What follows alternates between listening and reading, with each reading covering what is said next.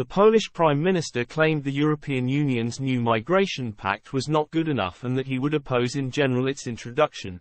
Poland vowed to not accept a single migrant under the European Union's controversial new migrant scheme, leaving Brussels' plan in peace. Donald Tusk, the Polish leader, said his government will not accept any forced mechanism to relocate asylum seekers, adding that he wanted to assure citizens Warsaw will not accept illegal migrants under any such mechanism. In a speech on Wednesday, the Prime Minister added, We will not accept a single migrant. Poland will never be. The EU's migration plan has enraged many in Poland.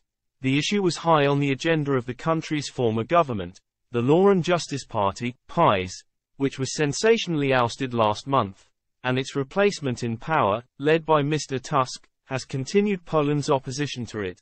The plan includes a rule that means member states will either receive relocated asylum seekers from countries on the front line of the crisis or the PiS has accused Mr. Tusk and his administration, known to heavily in favor of the European Union and being a more liberal outfit, of being willing to accept the new rules handed out by Brussels. It added that the pact was itself provisionally approved by member states of the EU just a week after Mr. Tusk's government took power. The plans will now undergo another round of talks before it will seek final approval. Mr. Tusk was the chief of the Council between 2014 and 2019 during which time the EU began a new system designed to redistribute asylum seekers to other member states. However this plan was ditched in 2017.